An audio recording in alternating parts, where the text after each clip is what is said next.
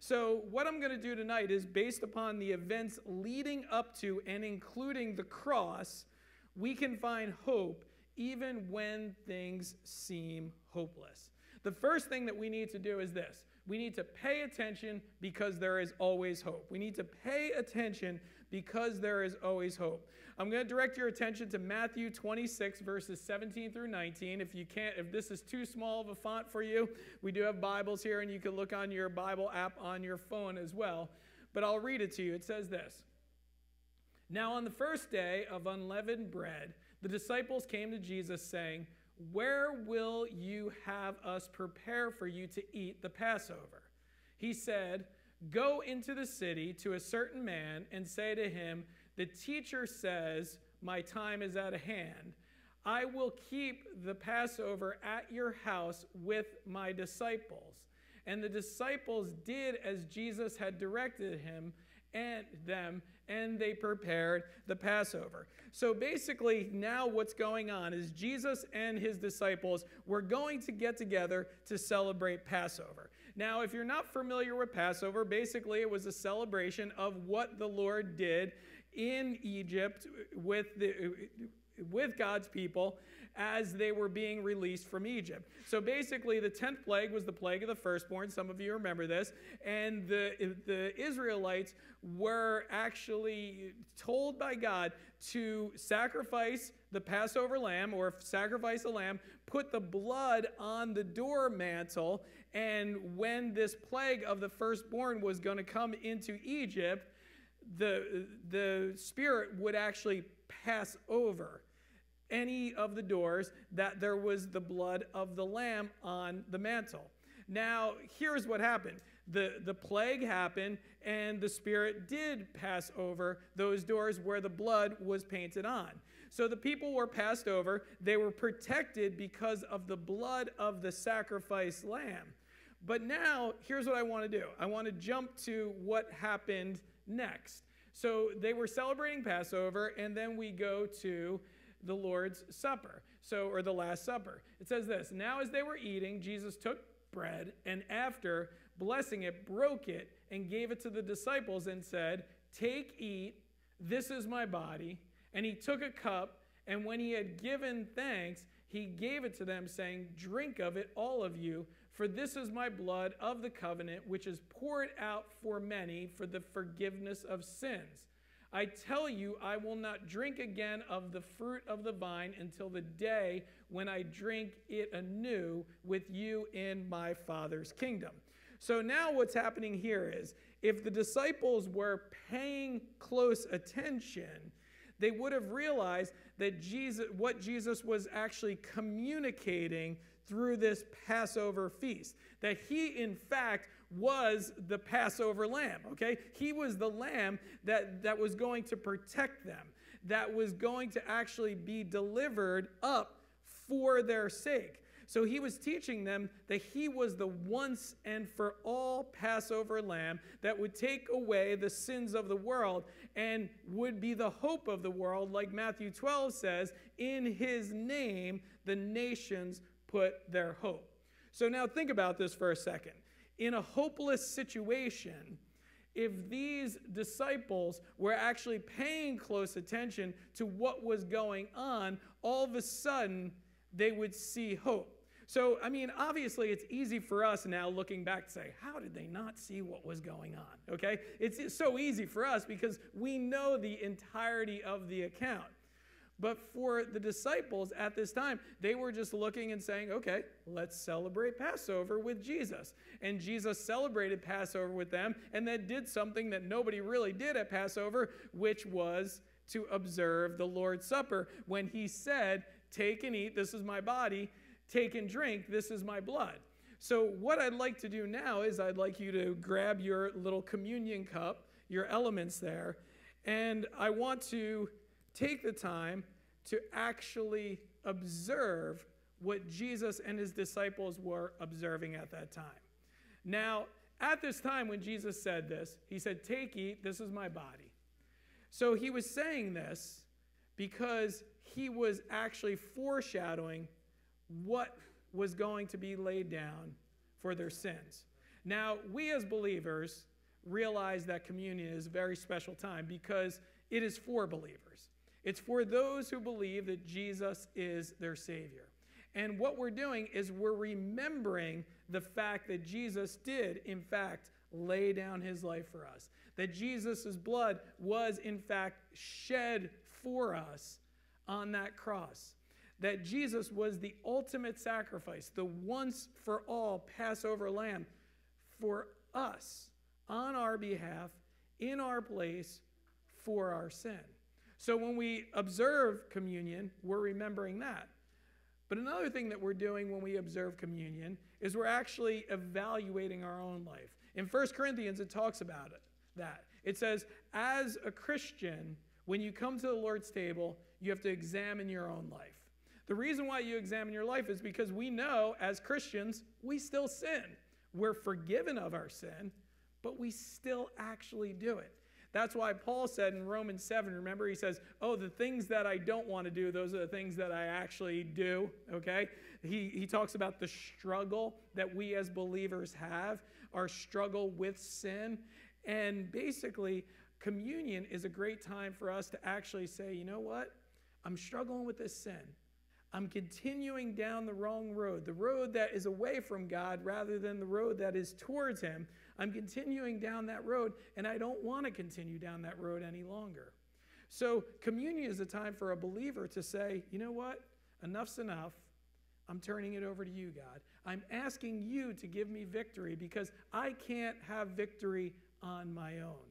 So, what I'd like to do before we partake of the elements is I'd like to give you a few moments just of silence that you can actually come to the Lord and confess any sins that you may have been struggling with. Maybe it's in the past week, maybe something that you've been struggling with for years. Bring it to the Lord, ask Him for victory. So I'm just going to give you a few moments of silence and then we'll partake together.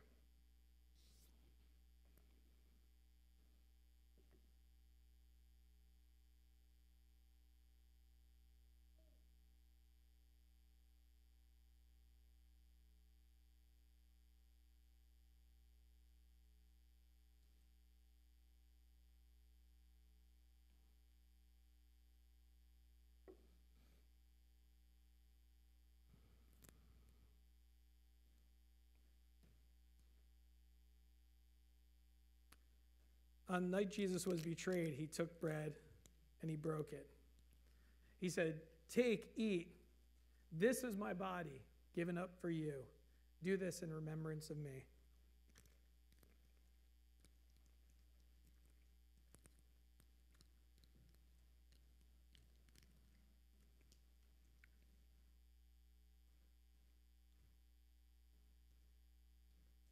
Then after supper, Jesus took the cup. He said, Drink of it, all of you, for this is the blood of the covenant which is poured out for many for the forgiveness of sins.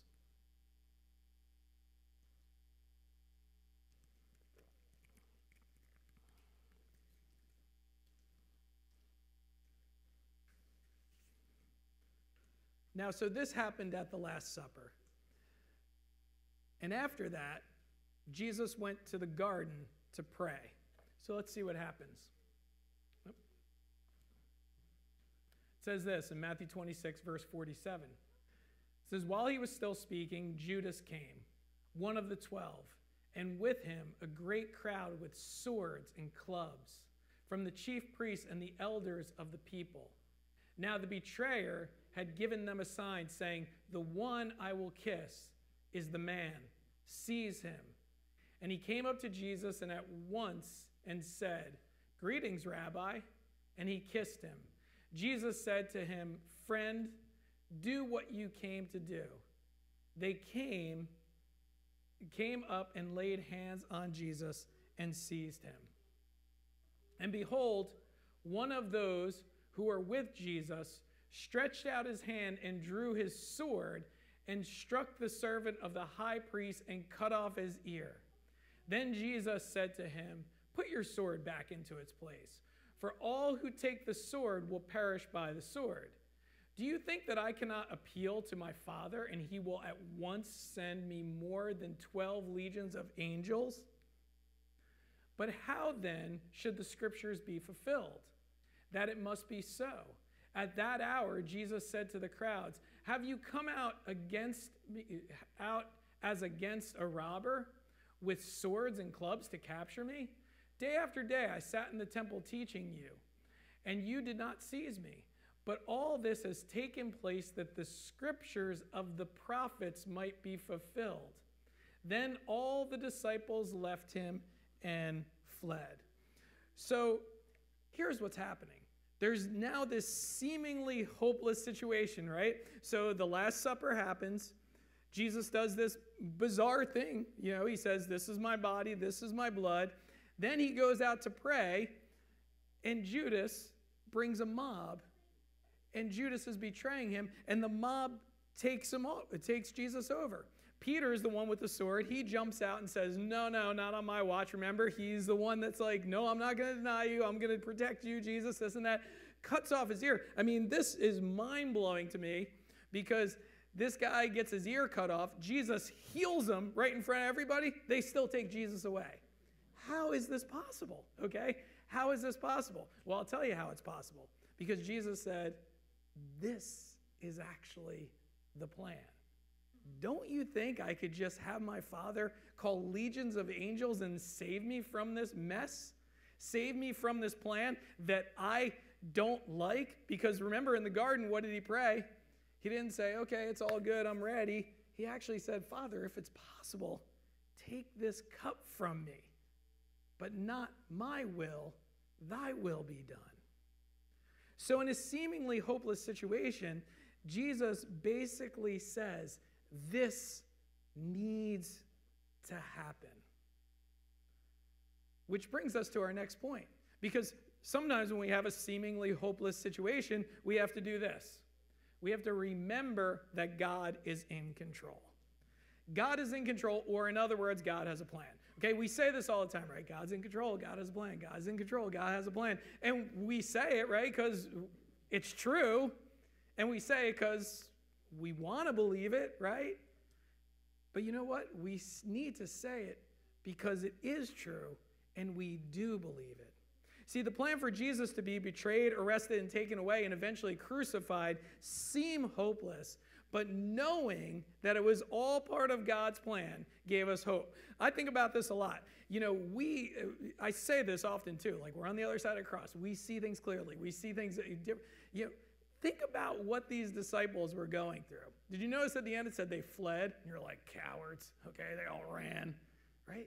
Can you imagine what these disciples were going through? They left everything to follow Jesus. Jesus said, Come on, you're not fishermen anymore. You're doing this. You're not going to have a home anymore. You're coming and follow me. All of a sudden, after three years of following this guy, an angry mob comes and arrests him, and he says, I'll go. Could you imagine what they were going through. Jesus himself did not want Peter to stand in the way because all that was happening was part of the master plan. Now, oftentimes when things happen that seem hopeless, we get discouraged. We wonder what God is doing. We wonder why God allows it. These are common, normal questions. If you read the Psalms, you see that, right? What's going on here, God? Okay, what's the plan? I want to know the plan right now, okay? We all feel that way. We wish we knew the answers to all the questions, and because we don't have the answers, things actually seem hopeless. So here's what we do we do what Peter did we try to take matters into our own hands. I'm going to control this, I'm going to do this. Instead of stopping and listening to God and stopping and praying, we say, I need to step in because if I don't, then nothing's going to happen. It's not that we shouldn't act or react, but we need to remember that if it is part of God's plan, guess what? You can't stand in the way of it. Peter couldn't. I mean, he was the tough guy who drew his sword. And what did Jesus do? He's like, okay, you cut that guy's ear off. Guess what? Here's one up. I'm, I'm healing him, okay? The ear's going back. Okay, you're not doing this. So, what if God's plan includes something that seems hopeless, like it seemed hopeless to the disciples when Jesus was being taken away? Now, this brings us to our final point, and this is a longer point, so you're thinking, wow, it's final point already? Okay, it's a longer point. Okay, we have to know that suffering actually has a purpose. Suffering actually has a purpose. You see, the account of the cross is the best example in all of Scripture that suffering has a purpose. Would you agree with that? The account, I mean, think about the account of the cross. And we're going to go through the account of the cross. But think about just at the very beginning, the Father gives up his Son. Okay? If you're a parent, you don't have to stretch too far to realize how hard that was. Okay? The Father giving up his son, okay? The father sacrificing his son, allowing his child to go through what we're about to really witness. So, what we're going to do is we're going to study through Isaiah 53, which is a prophecy written about 700 years before Jesus came to earth. I want you to think about that for a second. These words that I'm going to share with you were written 700 years before Jesus even came to the earth. Think about that for a second and how accurate it really is. So let's look. Isaiah 53 starts off Who has believed that he has heard from us? And to whom has the arm of the Lord been revealed? For he grew up before him like a young plant and like a root out of the dry ground. He had no form or majesty that we should look at him, and no beauty that we should desire him. So it starts off right, it talks about Jesus growing up. Then it says he had no form or majesty that we should be drawn to him, no beauty. Basically, it's saying Jesus, the God of this universe, would be an average looking guy, okay? An average looking guy would come to this earth. Then it goes on, say, he was despised and rejected by men, a man of sorrows and acquainted with grief. And as one from whom men hide their faces, he was despised, and we esteemed him not. So now what's happening here is he's talking about like the, the suffering death, but not only that, the suffering life. You know, there's a passage where uh, Jesus says the Son of Man has nowhere to lay his head. See, Jesus wasn't, uh, wasn't he was actually used to suffering. Okay? His life actually had suffering before the cross. Then it says this Surely he has borne our griefs and carried our sorrows, yet we esteemed him stricken, smitten by God, and afflicted. So now we're starting to see the picture of the cross. Eh, what Jesus actually endured, what he actually took upon himself. The fact that he took all of our sin upon himself. And when Jesus was on that cross, you remember the account, right? People spit at him.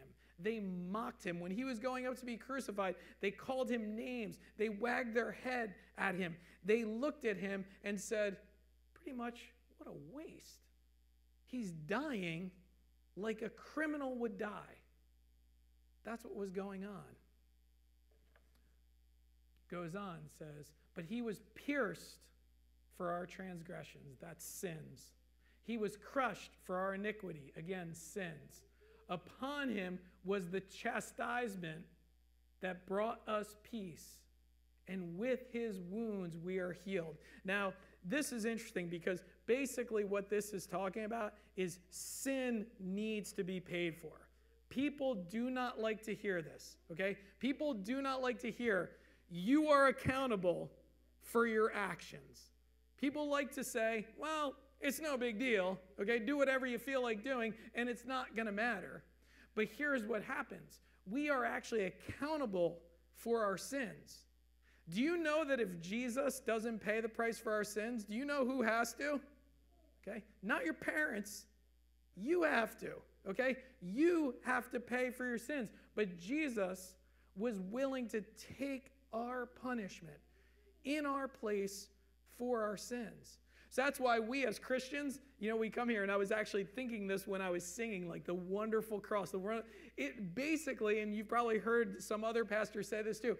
It would be like if we were worshiping an electric chair. Okay, could you imagine if you came into a building and they're like, "There's pictures of an electric chair everywhere. It's a device to kill people." That's the Roman cross. It was a device to kill people, and it's become a centerpiece of Christian worship. Why? Because of what happened on it. because he was paying the price for our sins. It should have been us, but it was him. So then it goes on to say, All we like sheep have gone astray. We have turned every one to his own way, and the Lord laid on him the iniquity of us all. So, what this is saying, this is talking about our nature. We, like sheep, have gone astray. And when I see sheep there, okay, like when I think of a when I think of sheep, I don't think of something like that's like mean, right? I think of something that's kind of like a little dim. think about it for a second. Think about it. So when I think of like maybe like a mad dog or something, I'm like, okay, that dog, like, let's get rid of that dog. Like, here's we're like sheep. In some senses, we commit sin, and sometimes we're even so ignorant of our own sin. We don't mean harm necessarily, but we still sin. So think about this for a second, because I know a lot of people say this well, you know, but what about a good person? What about a good person? Guess what? There's no good people. We are all sinners. Some of us might be just like innocent sheep, seeming like we didn't do anything wrong. We're just kind of dumbly going into sin, okay? Doing the wrong thing. But we all, like sheep, have gone astray. Each of us have turned to our own way, meaning we're selfish. I think we can all agree. We can all agree on this. We are all, all a little bit selfish sometimes, aren't we? Think about it. Think about your day. Think about your life. I mean, let's be honest. We're all a little bit selfish. And, he, and, and God's saying, even though that describes you, He was willing to take your sin. He was willing to take the punishment. So then it goes on. He was oppressed and he was afflicted, yet he opened not his mouth. Think about this, okay? 700 years before Jesus, Jesus was getting whipped.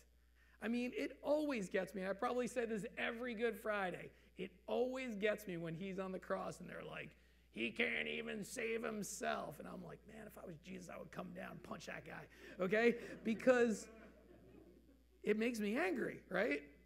Think about it. He didn't even open up his mouth.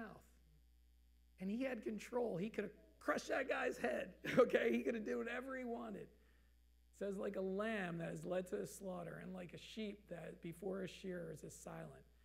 He so he opened not his mouth. By oppression and judgment he was taken away. And as for his generation, who considered that he was cut off out of the land of the living, stricken for the transgression of my people? It's going on, saying, like, this is how people were seeing him oh, he must, he must be punished by God. Okay, he must have did something wrong. Okay, there's other criminals there too. He must have did something wrong. Whatever it was, it must have been really bad. He must deserve what's going on. And they made his grave with the wicked and with the rich man in his death. Think about this. His grave with the wicked, meaning he was died a criminal's death. So he died like a wicked man would die. And with the rich man in his death. Remember, Joseph of Arimathea took him to the tomb that he bought. Okay?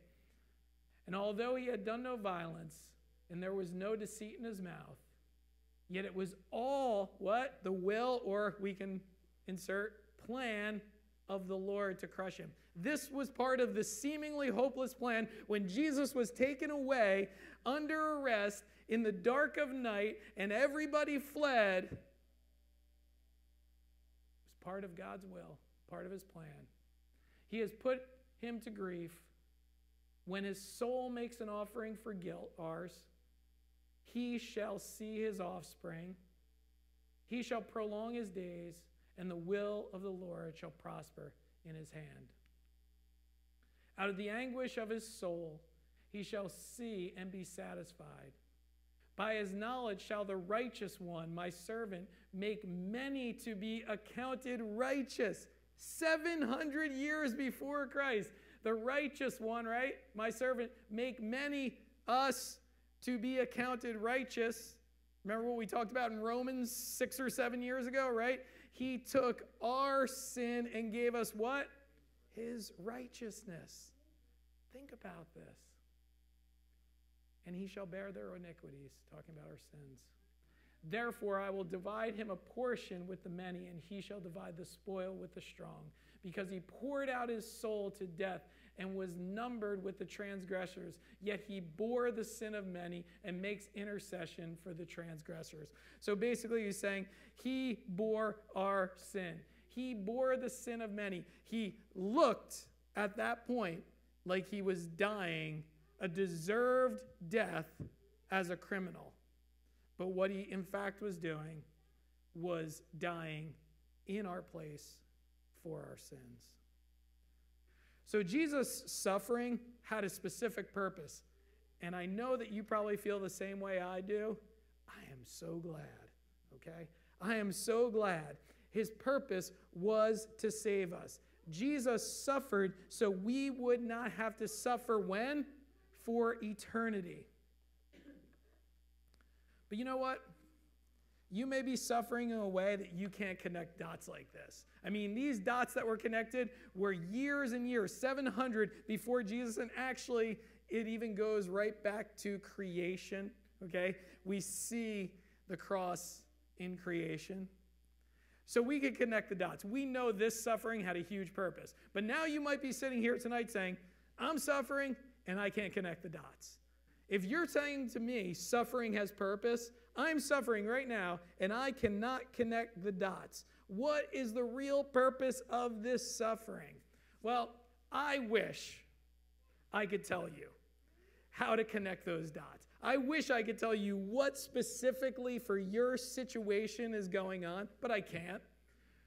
But I can tell you a few things. When we suffer, the first is there is something to be learned. Let's look at Romans 5. It says, Not only that, but we rejoice in our sufferings, knowing that suffering produces endurance. And endurance produces character, and character produces what? Hope. Remember this seemingly hopeless situation? And now the suffering is producing endurance, and the endurance produces character, and the character produces hope. Some of you might realize this in life that some of the most character enduring and hope filled situations in your life came out of a suffering time of your life. Because then it says this, and hope does not put us to shame because God's love has been poured out into our hearts through the Holy Spirit who has been given to us. So, what he's saying here is hey, listen, there's something to be learned, and what's to be learned is this you put your hope in God. That's where it needs to be. So, whatever the suffering is, you have to say, well, you know, where is my hope? Is my hope in this world? Is my hope in the medical profession? Is my hope in my bank account? Is my hope in whatever you might be putting your hope in? And let me just tell you, all those things will eventually fail. And some of you are saying, not my bank account. Okay, that's not going to fail. It can and will. Okay. The only place where we really can find hope is in God. And He's poured out that hope through His Holy Spirit into our lives. Scriptures teach us that when you believe that Jesus is your Savior, you not only receive eternal life, but you actually receive the Holy Spirit so that when you're suffering, you can actually find hope because the Spirit's like, I'm giving you hope. I'm helping you out here. I'm getting you through. Next, here's next what we can do. When we suffer, we can still do good. Therefore, let those who suffer according to God's will entrust their souls to a faithful Creator while doing good. Here's the, here's, here's the issue that we have as Christians, right? A lot of times when we're suffering, we have to stop, okay? We're like, I can't do anything. I can't do anything. I just have to suffer. I just have to be like, woe is me. I can't move on because I'm suffering and I can't keep going. But what this passage is telling us is hey, listen, if you're suffering, part of God's plan might be that you're suffering. You still look for opportunities to do good. You still look and say, you know what? How can God use me in this situation? And finally, and this is my favorite one, and it always has been, when we suffer, we're reminded this world is not our home. This world is not our home. I love this verse in Hebrews. For we have no lasting city but we seek the city that is to come. Okay? This world's not our home. Okay? We're just pilgrims passing through. We have no lasting city here. Granted, we're probably cr- pretty comfortable at some points in our life. Maybe you're very comfortable right now. Maybe things are just great, and I'm glad for you. But you know what? You and I will never be 100% comfortable in this world. We just won't. We will never be 100% comfortable in this world. So when we see suffering, when suffering happens, when things happen, we're just reminded oh, yeah, that's right. I'm not made for this world. I mean, we think 80 years is a long time, right? I mean, 80 years seems like a long time. Some of you here that are 80 are like, well, it doesn't seem that long, okay? 80 years seems like a long time. But the scriptures actually say it's just like a mist in comparison to eternity. And do you know what? If we don't trust in Jesus, things are not going to be good. But when we do trust in Jesus, we know there's a city that's to come that's going to be so much better. We're not going to have to suffer. We're not going to have to deal with hopeless situations because we hope in the one who made that city, who lives in that city, and who's going to bring us to that city, heaven, together. One day, we'll all experience that. So, on this Good Friday, when we look at the cross, we see hope. We don't see a hopeless situation, we see hope.